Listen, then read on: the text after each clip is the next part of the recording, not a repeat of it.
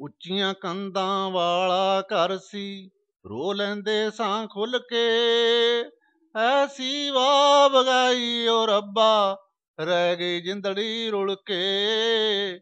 ਉੱਚੀਆਂ ਕੰਧਾਂ ਵਾਲਾ ਘਰ ਸੀ, ਚਾਰ ਚੁਫੇਰੇ, ਦਰਦ ਨੇਰੇ ਹੰਝੂ ਡੇਰੇ ਡੇਰੇ। ਦੁਖਿਆਰੇ ਬਣ ਜਾਰੇ ਆ ਗਏ, ਕਿੱਧਰ ਰਸਤਾ ਭੁੱਲ ਕੇ।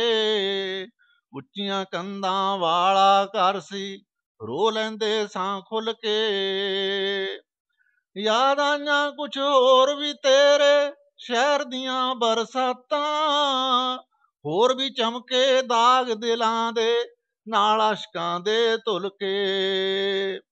ਆਪਣੀ ਗੱਲ ਨਾ ਛੱਡੀ ਜ਼ਾਲਿਬ ਸ਼ਾਇਰ ਕੁਝ ਵੀ ਆਖਣ, ਆਪਣੀ ਰੰਗਤ ਖੋ ਦਿੰਦੇ ਨੇ ਰੰਗ ਰੰਗਾਂ ਵਿੱਚ ਘੁਲ ਕੇ, ਉੱਚੀਆਂ ਕੰਧਾਂ ਵਾਲਾ ਘਰ ਸੀ।